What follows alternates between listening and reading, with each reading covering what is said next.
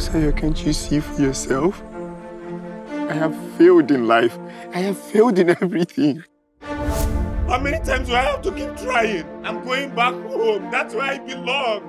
Leave me alone! Ade is not stubborn. He's just um, having a hard time.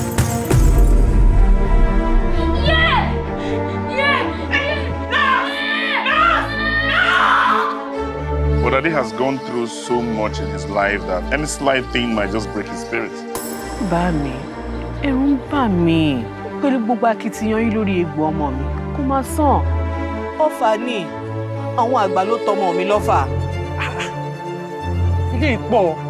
There's nothing that we can do, Johnson. Nothing. He needs to go to a hospital. Ẹ fún mi lóbi ẹjọ́. Ẹjọ́ ẹ ṣeun. Ẹ ṣeun.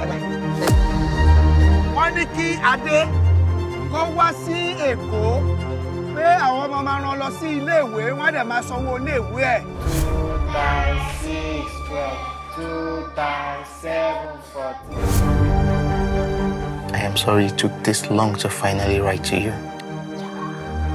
Hey, that I'm alive today is because of Mrs. Kaeli. I have decided to include in my letter the very arms of my life.